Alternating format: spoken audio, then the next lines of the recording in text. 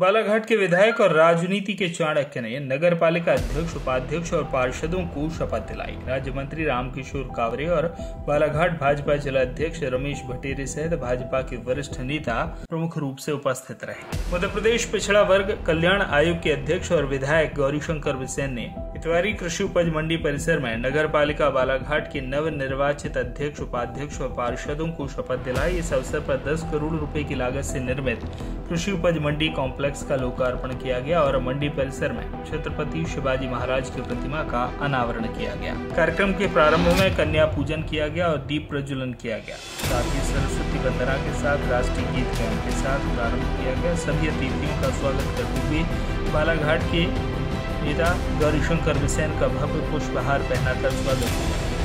मध्य प्रदेश पिछड़ा वर्ग कल्याण आयोग के अध्यक्ष और विधायक गौरीशंकर बिसेन ने नगर पालिका बालाघाट के नवनिर्वाचित अध्यक्ष उपाध्यक्ष और पार्षदों को शपथ दिलाई। इसके पश्चात नगर पालिका के नवनिर्वाचित पार्षदों का शॉल श्रीफल भेंट कर सम्मान किया गया।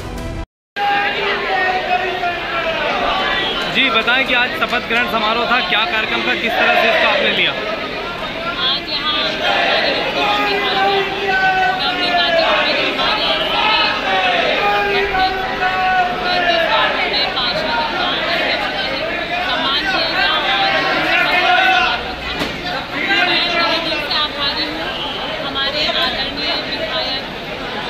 लाडले आदरणीय गौरी शंकर बिसेन जी की और हमारी प्यारी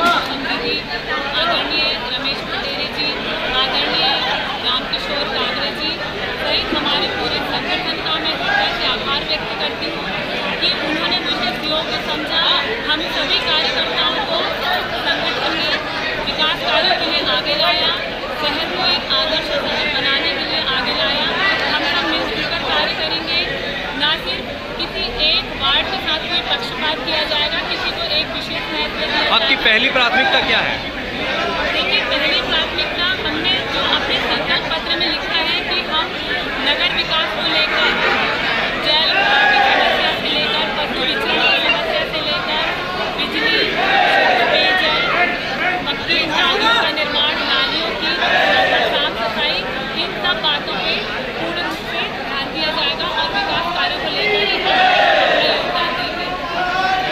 बालाघाट का सबसे बड़ा सभागार, उस सभागार का नाम भोलाराम पारदी सभागार किया जाता है। इसी के साथ साथ इस परिसर में जो राजा भोज हमने छत्रपति शिवाजी महाराज, जिन्होंने उस ज़माने में लोहा लिया मुसलमान मुसलमान राजाओं से और समर्पण नहीं किया, उनके सम्मान में हमने इस पूरी मंडी का नाम छत्रपति शिवाजी शिवाजी महाराज कृषि मंडी यह कॉम्प्लेक्स किया है, जिसकी, जिसका प्रारंभ माननीय शिवराज सिंह चौहान ने जब प्रतिमा का अनावरण किया, उसी से आपने लगा लिया होगा ये बालाघाट की नहीं, मध्य प्रदेश की पहली कृषि उपज मंडी होगी, जिसका नाम छत्रपति शिवाजी महाराज के नाम रखा जाएगा। मैं सभी छत्रपति शिवाजी महाराज के अनुयायियों को शुभकामनाएँ बधाई देना चाहता हूँ।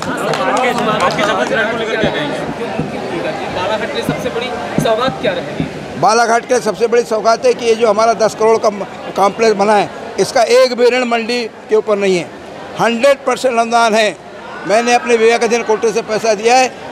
मंडी बालाघाट को कोई पैसा रिटर्न नहीं करना है नंबर एक। नंबर दो, यह मंडी, जैविक मंडी के रूप में इसको हमको स्थापित करना है। इसलिए एक्ट में और नियमों में संशोधन का हम सरकार को प्रस्ताव भेजेंगे। ज़रूरत पड़ी तो हम कैबिनेट में जाएँगे और जैविक खेती करने वालों को प्राथमिकता पे दुकान मिले, इस तरह की व्यवस्था करेंगे। बालाघाट से वीरेंद्र श्रीवास की रिपोर्ट।